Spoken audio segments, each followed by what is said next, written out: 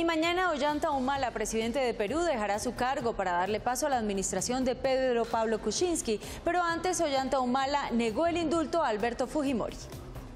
Pedro Kuczynski, presidente electo de Perú, dijo que no firmará indulto para el exmandatario Alberto Fujimori, pero no descarta la posibilidad de permitir el arresto domiciliario para personas de la tercera edad. Kuczynski habló de la solicitud de indulto humanitario del expresidente encarcelado Alberto Fujimori y de la posibilidad de firmar una ley propuesta por el Congreso peruano que permitiría a presos adultos mayores cumplir su sentencia bajo arresto domiciliario.